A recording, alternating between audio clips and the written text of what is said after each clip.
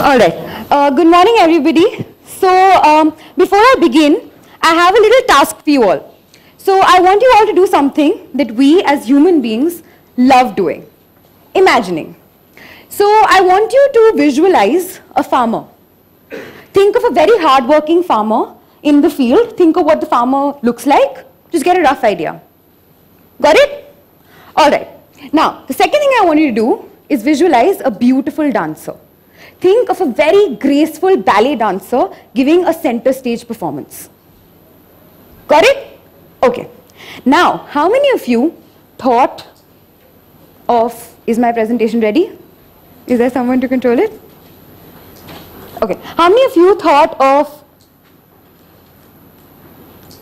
wait, this when I spoke about the farmer? And how many of you thought of this when I spoke about the dancer? Now, I could list about a hundred professions that we as human beings associate only with a particular gender, right? And I'm not here to blame you or blame society. I'm here to make you think. I'm here to tell you that by birth, we as human beings associate the words beautiful and graceful with women and the words hardworking and outdoor activities in general with men. So, hello everybody. My name is Shagun Sethi and I'm here to present an idea man, a gender that is so glorified and talked about and which almost seems fascinating to me as a girl is actually not that fascinating. It's actually very difficult to be a man in this society where we refuse to think, sympathize and understand.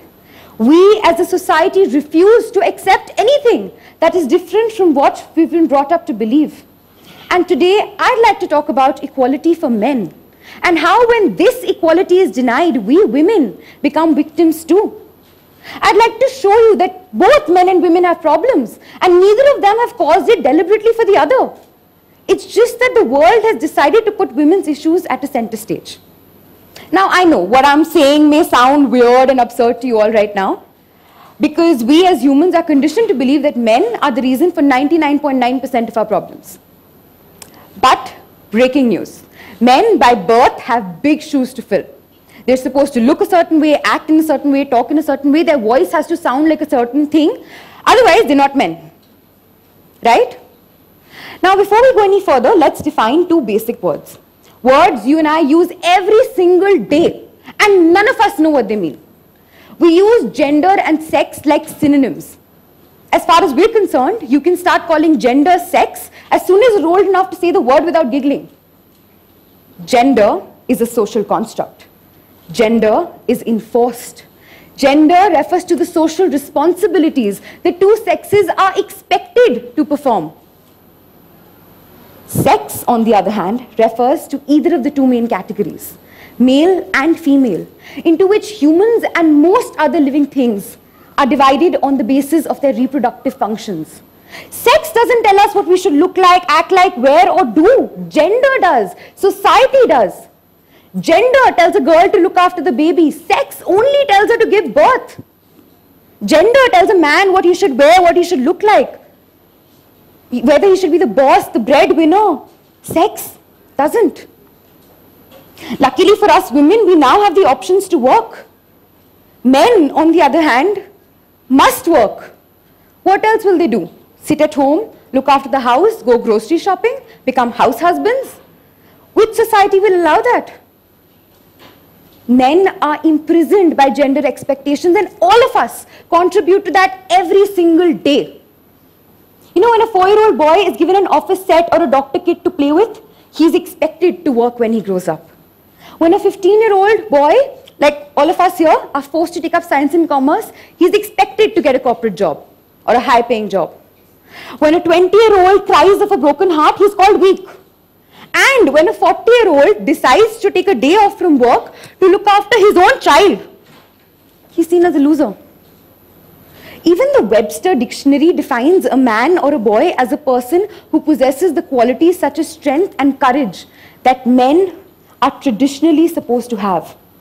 So basically what we're saying is that a two-year-old boy has to become a macho man in five years. And if he can't, he's not a boy. Why is it that when I see the word man, an image of a tall, muscular human being wearing a suit, sitting behind a table at work, and getting a six figure salary comes to my mind? Why is it that when someone comes up to me and says, Hi, I'm a boy and I'm a ballet dancer, I flip inside my stomach? Why is it that I expect a boy to give me his seat in the metro or the bus, even if I'm not old or pregnant? You know, so deeply ingrained are these preconceived notions about men and women that even our world's laws have an undertone of this bilge. Let's take an example. The Indian government, like many other governments now, have started giving paternity leave to men. But how many men do you know who actually avail this leave? It goes against their pride. बच्चे का ख्याल कौन रखेगा And how many of those few men use this leave to look after their child? How often do you hear a man say, Yes, I'm on paternity leave and I'm looking after my baby? Because if you are a man, why do you have to sit at home and look after your own child? Of course you don't. So now time for the big question. How does all of what I just spoke about lead to inequality? It's simple. As soon as we give a person responsibility, we give them authority. When men are given the pressure of working and earning, by simple elimination, it means that women do the housework. We raise our boys and make them believe that their place is outside the house. And that when they come home tired, they deserve to be served hot food, looked after, and spoken to with respect. Unfortunately, we raise our girls to believe that their ambitions aren't even half as important. If they're lucky, they can get married to some rich hotshot guy and sit at home and do the housework. What's worse is that she will do that and she'll impart the same values to her children. Ladies and gentlemen, for us to start talking about gender inequality, we have to realize where the problem starts and then we have to uproot it. Men have to be included in the conversation because gender inequality is their issue too. Why is it that when a girl smiles at you in the metro, you'll happily smile back? But if a boy smiles at you, you will assume he's thinking of something else. Why is it that I have three boys in my class because I belong to a liberal arts section? Or there are three girls in a science section, for that matter.